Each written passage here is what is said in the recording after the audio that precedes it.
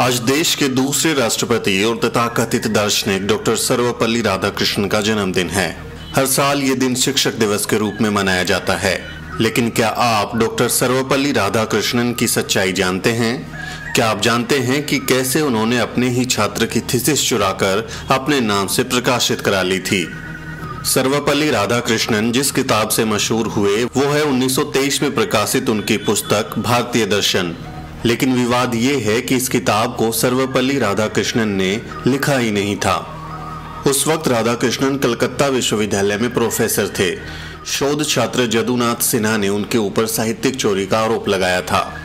मामला ये था कि जदुनाथ सिन्हा ने पीएचडी डिग्री के लिए भारतीय दर्शन नामक अपने शोध को 1921 में तीन परीक्षकों, डॉक्टर राधा कृष्णन डॉक्टर ब्रजेंद्र नाथ सील और डॉक्टर बी एन सील के सामने प्रस्तुत किया था।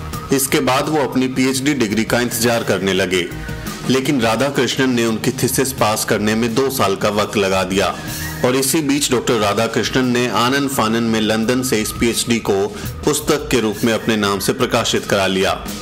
पुस्तक छपते ही जदुनाथ सिन्हा को पीएचडी की डिग्री भी उपलब्ध करा दी गई।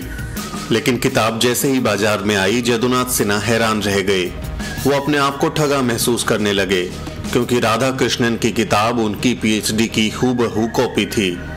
ऑल इंडिया रेडियो न्यूज़ के संपादक और वरिष्ठ पत्रकार महेंद्र यादव फेसबुक पर लिखते हैं राधा कृष्णन की किताब में अध्याय पूरे के पूरे वही हैं जो थीसिस में हैं।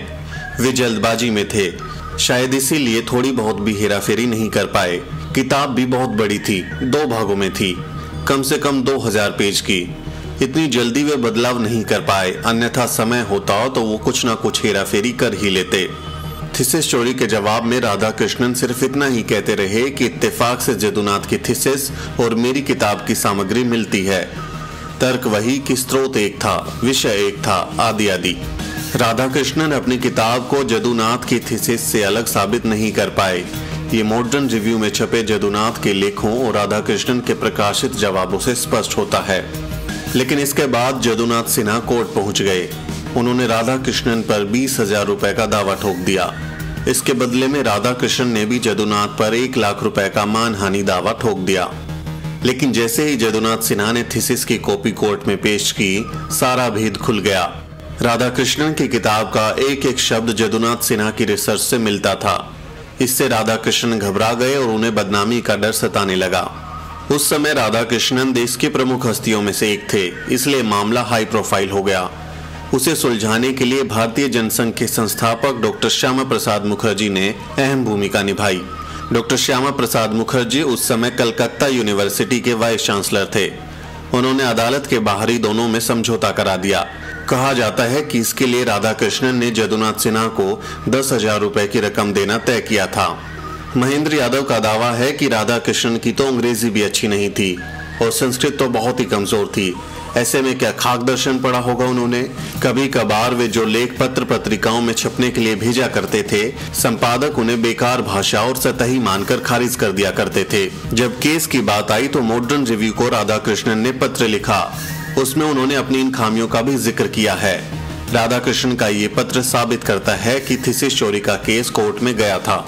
वहीं फॉरवर्ड प्रेस की वेबसाइट पर गौतम राणे सागर अपने लेख में लिखते हैं राधा कृष्णन ने 1921 में जब मैसूर से आकर कलकत्ता विश्वविद्यालय में कार्यभार संभाला, तभी से उनके ज्ञान और प्रतिभा पर उंगलियाँ उठने लगी थी।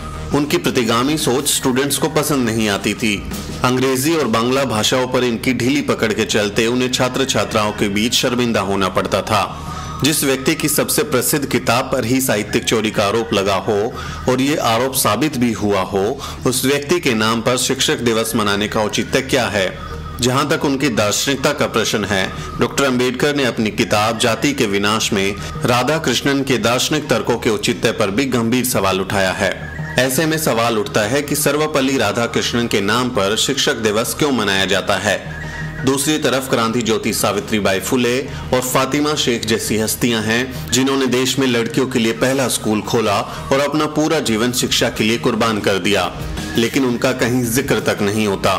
मनुवादी इतिहासकारों ने हमारे नायक और नायिकाओं के साथ बहुत अन्याय किया है। ब्यूरो रिपोर्ट, द शूद्र।